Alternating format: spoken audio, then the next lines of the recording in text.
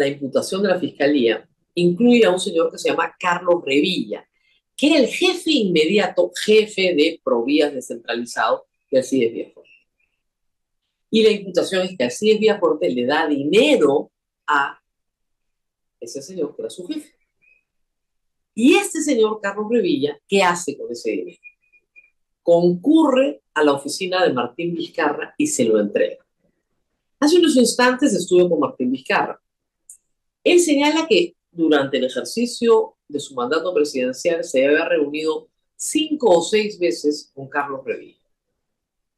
Y que esas reuniones están registradas en Palacio de Gobierno, que no hubo ocultamiento de estas reuniones, que están registradas y que bastará con que la Fiscalía corrobore esa información. Primera cosa que dice. Pero el hecho es que Vizcarra dice no conocer a nadie, pero sí conocer a Carlos Revilla, que está acreditado que lo conoce. Ahí viene el testimonio de Karen Roca, una testigo protegida. Ella no es colaboradora eficaz, es testigo protegida número 3.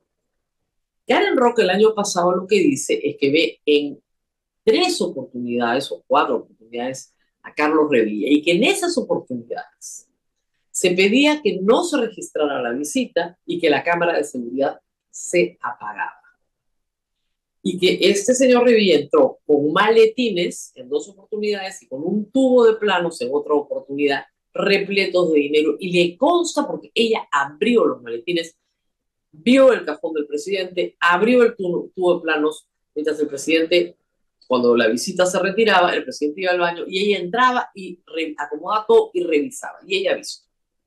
Ha visto incluso, dice, a la esposa del presidente en el dormitorio presidencial con el mismo maletín de dinero.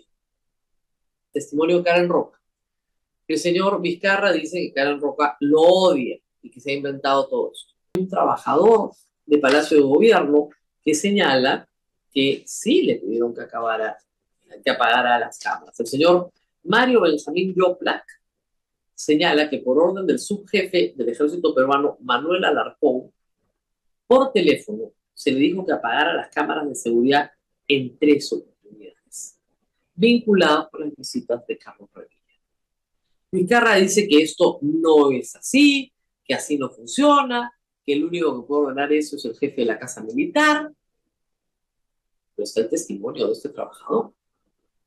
Faltan los testimonios que presuntamente Karen Roca señala pueden acompañar su testimonio de gente que entró con ella en una oportunidad y vio un cajón abierto con el dinero adentro falta efectivamente la corroboración de todo lo, el material que puede haber en Palacio de Gobierno de registro de visitas de Carlos Revilla, y también falta todo lo que tiene que ver con secreto bancario de eh, estos personajes, sobre todo de eh, ¿no es cierto? De los que están vinculados.